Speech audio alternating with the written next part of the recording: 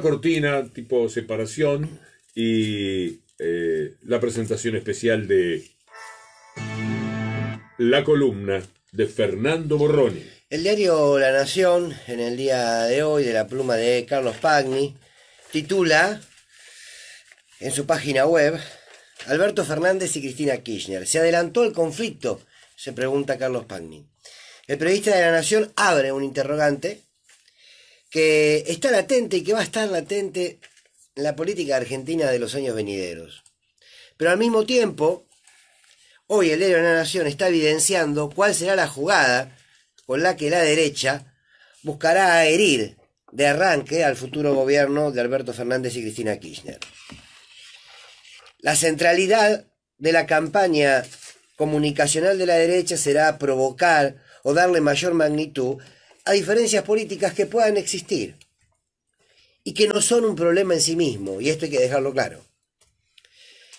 La interna entre, o la supuesta interna entre el kirchnerismo y Alberto Fernández van a cubrir los titulares de los diarios, los vamos a leer en los zócalos de los canales de televisión, y permanentemente se insistirá en una política que buscará dividir, precisamente para que la derecha pueda de alguna manera y a través de ese camino poder reconstruirse. Allí va a estar puesta la maquinaria en los primeros años.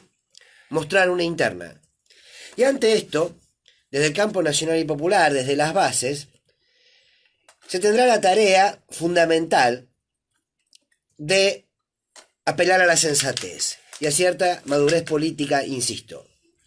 No caer en el romanticismo, ni caer en el fatalismo político, en la fatalidad política.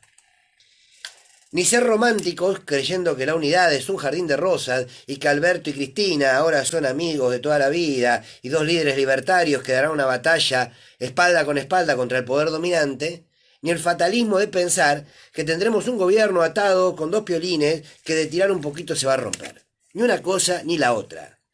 Debe primar la sensatez y un principio de realidad. Lo que sucederá ni más ni menos es lo natural en la vida política.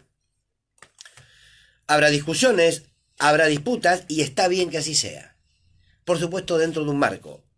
Porque Alberto y Cristina no son lo mismo, pero a partir de aquel sábado donde Cristina lo anuncia como candidato a presidente, comenzaron a construir una representación de lo mismo. Pero está claro que no han representado lo mismo hasta hoy. Pero el desafío es de hoy hacia adelante.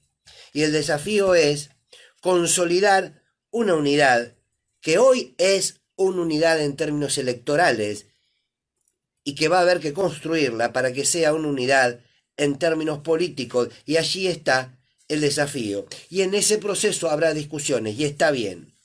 Hay una síntesis, una síntesis electoral a partir de la generosidad de Cristina y de otros dirigentes que hoy constituyen esta unidad electoral que construyó una victoria y que va por la victoria definitiva.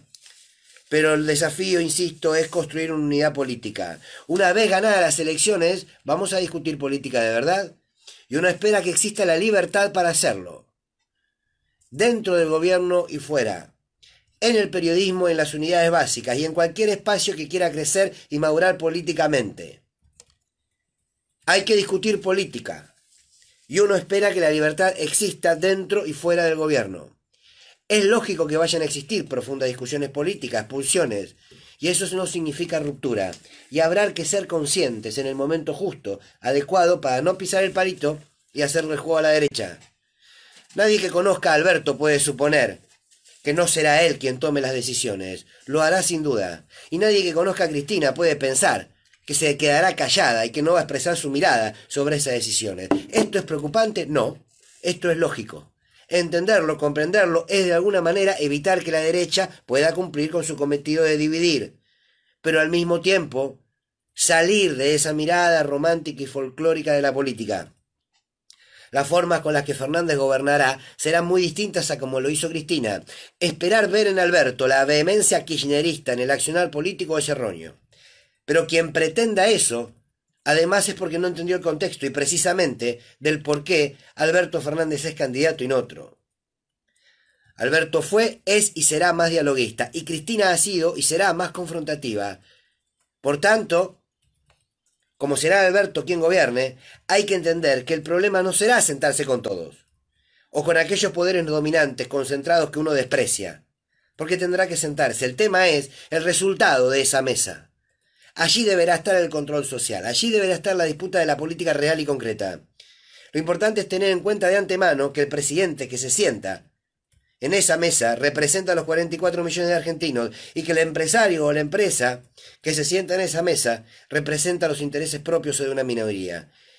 Y eso es lo que hace desigual el diálogo, ese diálogo político. Y ahí estará la discusión.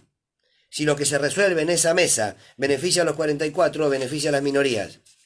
El 10 de diciembre de este año comenzará un proceso de cambio de verdad, no el cambio como título de esta gran estafa que hemos vivido, sino un cambio profundo, también en la manera de hacer política, en la manera de entenderla en esta coyuntura. ¿Eso significa renunciar a las convicciones? No, significa ser más inteligentes. ¿Eso significará ser mejores? No lo sé. En todo caso, seremos mejores si no permitimos si no permitimos la autocensura, si nos animamos a discutir política y a formarnos políticamente, pero sobre todo si tenemos claro que el silencio político jamás fue, ni es, ni será un negocio para el pueblo. Eso fue brillante. El gusto de presentarles la columna de Fernando Borroni. Mauricio Polo